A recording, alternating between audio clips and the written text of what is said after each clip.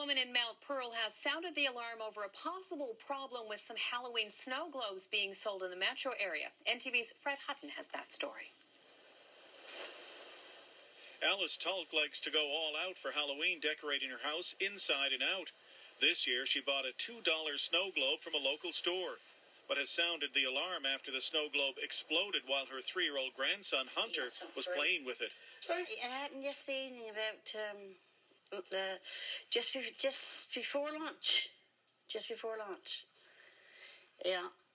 And he, he was just sitting there and he was looking at television and he picked up that little thing there and he went to shake and I just went and I was watching him because I was sitting down here and like I knew he didn't uh, uh, it off anything as long as I was looking at him and he picked it up and went to shake it like that and when it did it just poof just like that it exploded I just saw uh, again and, and, and, and, and exploded everywhere like, like that. I'll tell you, exploded everywhere. The snow and the water and the glass.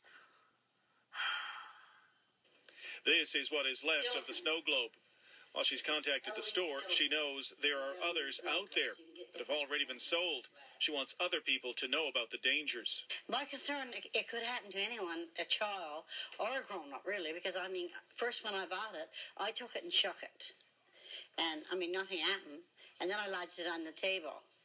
And when I, here, here Chloe, and uh, then I lodged it on the table, and that's all I thought about it until he came yesterday and he sat down, he went to shake it, and just took one like that and exploded.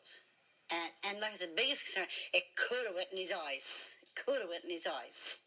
Ms. Tulk contacted the store where she purchased the snow globe and was told they will be taking them off the store shelves. She said she was also told other stores are also expected to do likewise.